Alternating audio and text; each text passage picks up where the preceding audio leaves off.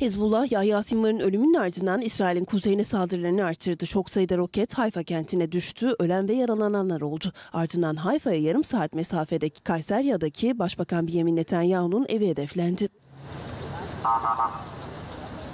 İsrail ordusu saldırıda ölen ya da yaralanan olmadığını açıkladı. Lübnan'da Hizbullah'a yakın basınsa saldırıda can kayıpları olduğunu hatta Netanyahu'nun evinin de zarar gördüğünü iddia etti.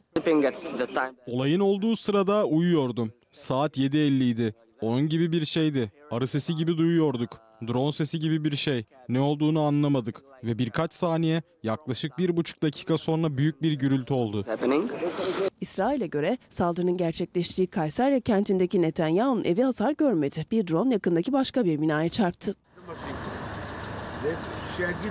Yan yana fırlatılan diğer iki drone'un da durdurulduğu bildirildi. Saldırının ardından Tel Aviv'de sirenler çalsa da saldırı gündelik hayatı etkilemedi. İnsansız hava aracı Lübnan'dan yaklaşık 70 kilometre uzağa uçtu ve doğrudan Kayserya'daki bir binaya çarptı. Şarapnel parçaları da komşu binaya ulaştı. Saldırının ardından Netanyahu'nun evinin önünde önlem alındı. İsrail basınına göre saldırı sırasında ne Netanyahu ne de eşi evdeydi.